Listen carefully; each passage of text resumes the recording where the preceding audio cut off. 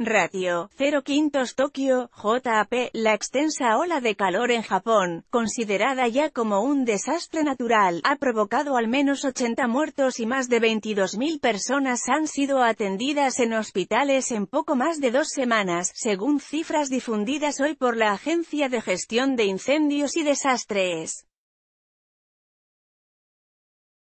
Japón vive las más altas temperaturas registradas en la historia del país en un verano caluroso y la agencia meteorológica advirtió que la ola de calor podría prolongarse hasta principios de agosto, por lo que recomendó a la población tomar precauciones.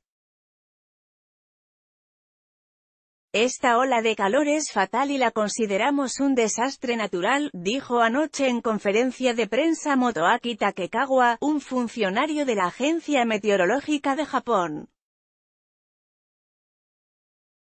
Estamos registrando calores sin precedentes en varias regiones, indicó. El calor extremo en el país llegó la víspera a los 41,1 grados centígrados a la sombra en Kumagaya, en la prefectura de Saitama, provocando la muerte de 13 personas y que cientos de personas acudieran a los hospitales con síntomas de insolación.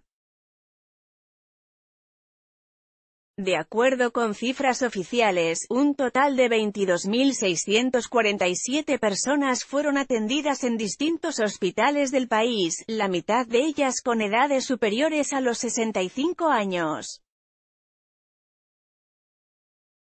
Tan solo en la prefectura de Tokio, la más poblada de Japón, 1.979 personas fueron atendidas la semana pasada en diversos nosocomios a causa de la ola de calor que afecta al archipiélago. La ola de calor en Japón llega después de que hace unas semanas más de 200 personas murieron en las peores inundaciones de los últimos años y en un momento de ironía, pues apenas en enero pasado el país tuvo la temperatura más baja de los últimos 50 años.